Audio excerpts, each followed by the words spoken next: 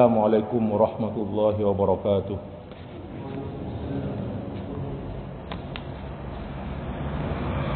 الحمد لله على إحسانه والشكر له على توفيقه وامتنانه وأشهد أن لا إله إلا الله وحده لا شريك له تعظيما لشأنه وأشهد أن محمدا عبده ورسوله. الداعي إلى رضوانه صلى الله عليه وعلى آله وصحبه وسلم تسليما كثيرا أما بعد فيا إخوتي فيا إخوتي وأخواتي rahimani wa rahimakumullah Pada kala pergi melanjutkan kajian kitab min Mukhtasar min Hajil Qasidin Faslun Fasal Fi afatil ilmi Wa bayani ulama'is su'i wa ulama'il akhirah Fasal keterangan tentang bencana-bencana ilmu. Maksud epon penyakit-penyakit ilmu ni kenapa? wa bayani ulama isu benun keterangan tentang pasyarah ulama usu wa ulama il akhirah pasyarah ulama ulama akhirat dalam pada seorang kitab kitab sufi kitab apa tenggula tak mangki istilah ulama dunia tapi manabi ulama ul akhirah banyak ekadin toh wa bayani ulama isu'i wa ulama il akhirah. Istana Nabi lawan kata di ulama ul akhirah inki ulama ul dunia. Tapi istilah kadin toh tidak dipakai sama ulama. Saya sakui ulama usu, ulama secuba. Ada bu al-Imam Ibnu Qudamah al-Maqdisi rahimahullahu taala ulama usu'i humul ladina qasduhum minal ilmi at-tana'umu bid-dunya. Ulama su yang kita dinto orang-orang ulama sekun maksud dari ilmu nak itu saya kole tujuan mereka minal ilmi at-tana'um di dunia kun kenikmatan dunia. Nyari kesenangan dunia. Ni kalau masuk. Wa tawassul ila al manzilati inda ahliha. Kun re nyare kedudukan al manzilah kedudukan indah ahli manzilah nyare de orang-orang saya lapor akan ambil kedudukan dan kula kan orang orang yang paling bukti zaman zamannya orang kiri buruk pemilu kan toh masya Allah mungkin. Aduh kiri malah keterangan kata bagian akhir dari bukan itu banyak kan masalah kat dia toh. Waktu rawa Abu Hurairah radhiyallahu anhu عن Nabi sallallahu alaihi wasallam, وسلم أنه "Man من تعلم علما مما يبتغى wajhu Allah azza wa jalla." لا يتعلمه إلا ليصيب به عرضا من الدنيا لم يجد عرف الجنة يوم القيامة artinya siapa-siapa orang seajar ilmu mimma yubtagha bihi wajhullah seedimah kalau ban ilmu kelak saungkunah kalimun kela area kangku nyari ridho Allah saung kuna pun ridho Allah tapi dia orang gila la yata'allamuhu illa liyusiba ardan min ad-dunya orang gila nyari ilmu kun teronga liyah harta benda dari dunia. Ardan. Lam yajid arfal jannah. Maka orang gila tak bekal nemu roh surga. Lam yajid rihal arfal jannah. Yaumal qiyamah fakir dengan kiamat?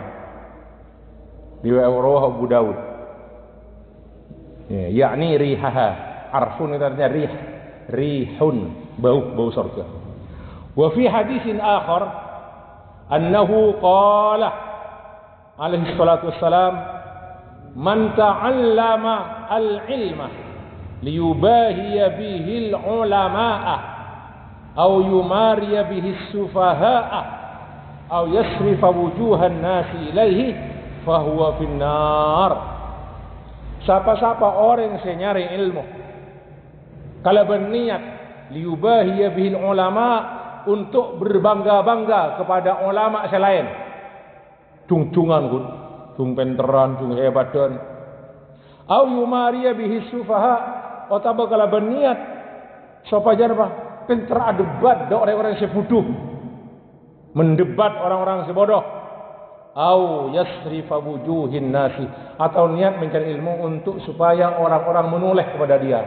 Itu ting orang yang hebat orang yang pintar orang yang ini. Epoti bawan fahuwa finnar. Maka orang yang bakal masuk apa neraka. Rawahu tirmidzi wa fi dzalika ahaditsu katsira banyak kan hadis-hadis dalam hal kadin to wa qala ba'du salaf sebagian ulama salaf ada bu. Asyaddun nasi nadamatan indal maut. Alimun mufarrid separing sarah kenapa penyesalan pasti. Indal maut di waktu mati. Alimun mufarrid ya orang alim. Sele selalai wa'lam anna al-ma'khudha 'ala al-'alim an yaquma bil awamiri wan nawahi. Ketahuilah bahwasanya yang dituntut dari seorang yang alim itu hendaklah dia menegakkan amar ma'ruf nahi munkar kata mana? Al awamir wan nawahi walaysa alaihi an yakuna zahidan. Ben orang yang alim kak dunto bodoh kutu zahid pas meninggalkan dunia secara total zuhud. Wala mu'ridan anil mubahat. Beni pas agilagi saya mubah-mubah. Napa boleh saya makruh napa boleh saya haram. Beni orang alim itu benih gua juga saya hal saya mubah-mubah. Saya halal juga lagi benih.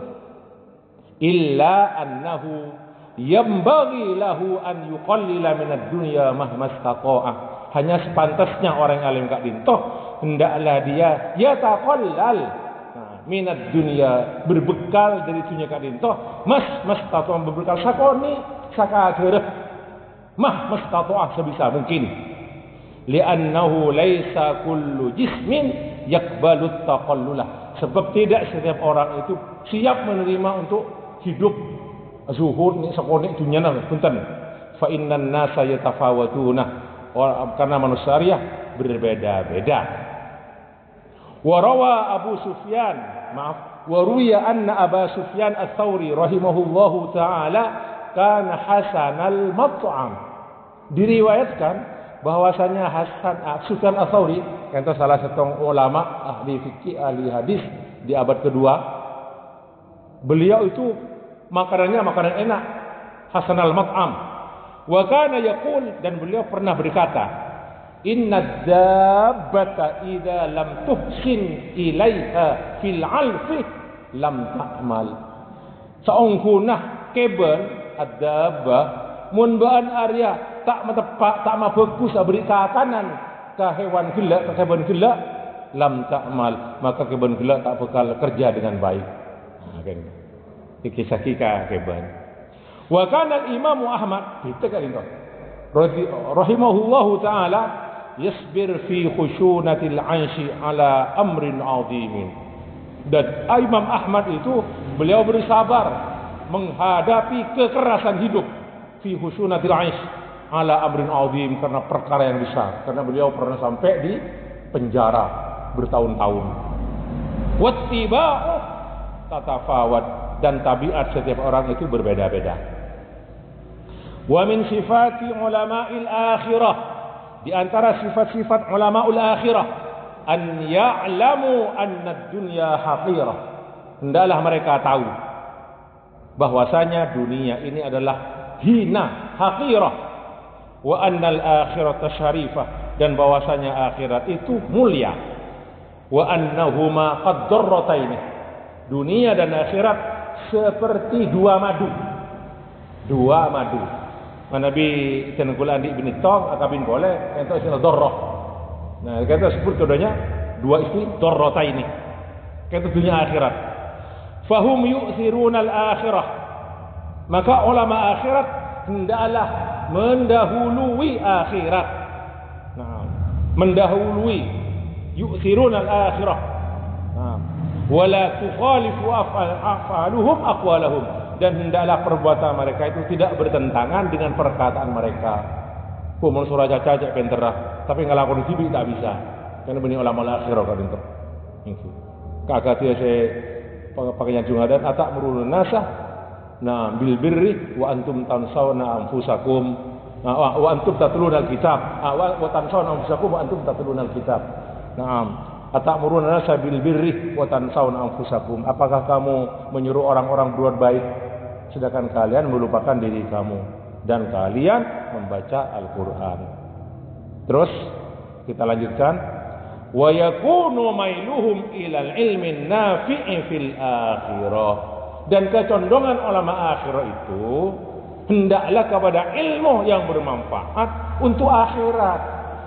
Benih kuntunya malolok wa yajtanibuna al-ulum allati yaqillu naf'uha itharan lima ya'dumu naf'uh dan dalam mereka itu meninggalkan. Nah asing ilmu-ilmu menjauhi dari ilmu-ilmu semanfaatun sakoni itharan lima ya'dumu naf'uh karena mengutamakan selebih rajah manfaat. Kama rubiyah an Syaqiq al-Balkhi annahu qala li Hatim Syaqiq al-Balkhi kadang tu salah satu ulama juga hidup di kan tu uh, sufia ini. Tapi sufi setepak dan sebagainya pun seban seromban dan tu ahli ilmu akhlak Syaqiq al-Balkhi. Di abad kedua juga andi muridnya mana? Qa annahu qala li Hatim Hatim al-Asam uh, mator dek muridnya sama Hatim al-Asam Al-asom itu artinya tengel. Al-asom tengel. Tapi berita itu kata hati al-asom itu. Padahal tak tekel gitu. Kekun terkenal julukan uh, dengan al-asom tengel. Kan itu tak apa-apa untuk membedakan karena beda hati hati bisa lain. Okey, uh, untuk membedakan hati itu itu murid syakik itu cari tanah. Wallahu taala alam. Saya sendiri baca uh, eh sedang tempo pada ni bini uh, Rabu dak hatim al asam dak hatim minta fatwa. Di tengah-tengah minta fatwa kan toh ni bini kata tu akan to ranging tuan todus pas. Ni bini tu todus tapi hatim pura-pura enggak dengar. Macam mana langsung melakukan angkat suara nak kau tak pada ngidi ha ni kan yang angkat suara macam-macam ini apa kerana kok tak ngiding? Ha, ya. Padahal ni ngiding kan mungkin kau dia kena ni. Lah mulai kata sebut Hatim al-Asam. Hatim al-Asam. Banyak kan contoh-contoh dari nama menjadi julukan. Nah, kan keren dua cukup kan. Anu pulang kan kan. Anu pulang kan buat dia keren dua kan. Diberi julukan-julukan khusus. Karena punya ciri khas. Selama itu tidak menghina dengan niat menghina, itu boleh dalam ilmu hadis apa-apa. Beda beda hanya Abdullah Abdullah banyak beda al-A'mas. Al-A'mas itu rabun, rabun malam, itu rabun sore, dari sore. Nah, beda lah rabun ongku orang lain. Disebut al-A'mas, boleh tak kabur benda lain. Kenapa saya pun sakit al-Balki motor dek murid saya nama Hatim al-Asam. Nah, qad sahibtani muddatan wa bergaul dengan saya kok beberapa waktu. Famada ta'allamta apa pun saya ajar dari sengkok? Qala sama nama masail beluk masalah. Dan kula ajar dari panjenengan cepon hakim al asam. Kakuruna syaqiq al balaghi nah insyaallah empat saus ya nah, empat saus yang makin amal ula pertama. Ada bu al hatim al asam. Fa inni nadartu ila al khalqi. Dan kula ngabas dak para makhluk faida kullu syakhsin lahu mahbubun. Ternyata saben orang tak dito andi orang yang dia cintai atau sesuatu yang dia cintai. Faida kullu syakhsin lahu mahbubun. Faida wasala ila al-qabri faraqahu mahbubuhu.